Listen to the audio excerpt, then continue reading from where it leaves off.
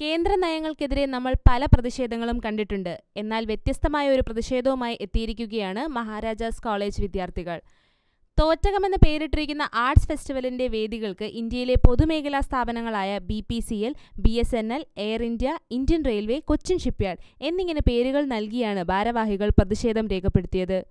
കേന്ദ്ര സർക്കാർ പൊതുമേഖലാ സ്ഥാപനങ്ങൾ സ്വകാര്യവൽക്കരിക്കുന്നതിനെതിരെ നാടെങ്ങും പ്രതിഷേധിക്കുമ്പോൾ വേറിട്ട രീതിയിലാണ് ഈ കലാലയ യുവത പ്രതിഷേധമറിയിച്ചത് കഴിഞ്ഞ മൂന്ന് ദിവസമായി നടന്നുവരുന്ന തോറ്റകം ആർട്സ് ഫെസ്റ്റിവലിന്റെ സമാപന സമ്മേളനം പ്രശസ്ത നാടക നടനും സിനിമാ പ്രവർത്തകനുമായ രാജേഷ് ശർമ്മ ഉദ്ഘാടനം ചെയ്തു.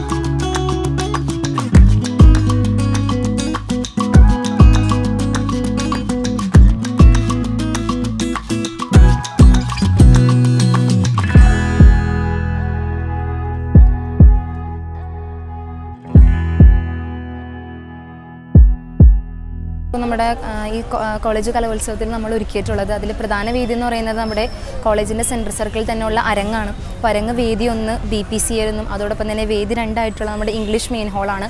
അത് നമ്മൾ എയർ ഇന്ത്യ എന്നും അതോടൊപ്പം തന്നെ വേദി മൂന്ന് Malayalam main hall air India അതോടൊപ്പം തന്നെ കെമിസ്ട്രി ഗാലറി വേദി നാല് അത് ബി എസ് എൻ എൽ എന്നും അതോടൊപ്പം തന്നെ വേദി അഞ്ച് നമുക്ക് സുവോളജി ഗാലറിയാണ്. അത് ഷിപ്പ്യാർഡ് എന്നുമാണ് നമ്മൾ ഇട്ടിരിക്കുന്നത്. അപ്പോൾ ഇത്തരത്തിൽ നമ്മളൊരു നമുക്ക് ഈ സത്യം പറഞ്ഞിട്ടുണ്ടെങ്കിൽ നമ്മൾ ഈ ആർട്സ് നമ്മളൊരു തീം എടുക്കുന്ന സമയത്ത് ഒരു ആശയം ആലോചിക്കുന്ന സമയത്ത് നമുക്ക് മുൻപിൽ ഒരുപാട് ശബ്ദം ഉയർത്തേണ്ടതായിട്ടുള്ള ഒരുപാട് വിഷയങ്ങൾ ഇന്ന് സമൂഹത്തിൽ നടക്കുന്നുണ്ട്. അല്ലെങ്കിൽ ഇന്ത്യൻ സമൂഹത്തിൽ നടന്നു വരുന്നുണ്ട്. ഇത് പ്രത്യേകമായിട്ട് എടുത്തു പറയുകയാണെങ്കിലും കഴിഞ്ഞ രണ്ട് ദിവസങ്ങൾക്ക് മുമ്പ് ലോകസഭയിൽ പാസ്സാക്കിയ പൗരത്വ ഭേദഗതി ബില്ല് അതോടൊപ്പം തന്നെ അയോധ്യയിൽ അയോ അയോധ്യ വിധിയുമായി ബന്ധപ്പെട്ടും ശബരിമല വിഷയം. ഇപ്പോൾ ഇത്തരത്തിൽ ഒരുപാട് കാര്യങ്ങൾ ശബ്ദമുയർത്തേണ്ട ഒരുപാട് കാര്യങ്ങളുണ്ടെങ്കിലും ഈ ഒരു കാലഘട്ടത്തിൽ ഏറ്റവും കൂടുതൽ ഒരു ഒറ്റ ഒരു കാലയളവിൽ ഇത്രയും പെട്ടെന്ന് തന്നെ ഒരുപാട് സ്ഥാപനങ്ങൾ ഇത്തരത്തിൽ സ്വകാര്യവൽക്കരിക്കപ്പെട്ടു എന്നുള്ളത് കൊണ്ട് തന്നെയാണ് ഈ വിഷയം എടുത്തതും.